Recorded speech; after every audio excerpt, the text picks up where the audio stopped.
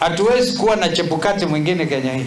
So lazima tutafute mikakati, hata kama ni kurudi kwa hiyo mazungumzo, turudi kwa mazungumzo ili commission hiyo isiwe kitu ya Kenya kwanza peke yao. Commission ya kusimamia uchaguzi wa miaka ijayo haiwezi, na sasa hivi even worse kunafanyika ile electro, kuna boundaries commission, kazi yao kutafuta mipaka ya maward wards ambazo zinaweza kuongezwa, constituencies ambazo zinaweza kuongezwa. Hiyo ni kazi ya commission, so we have to look for a way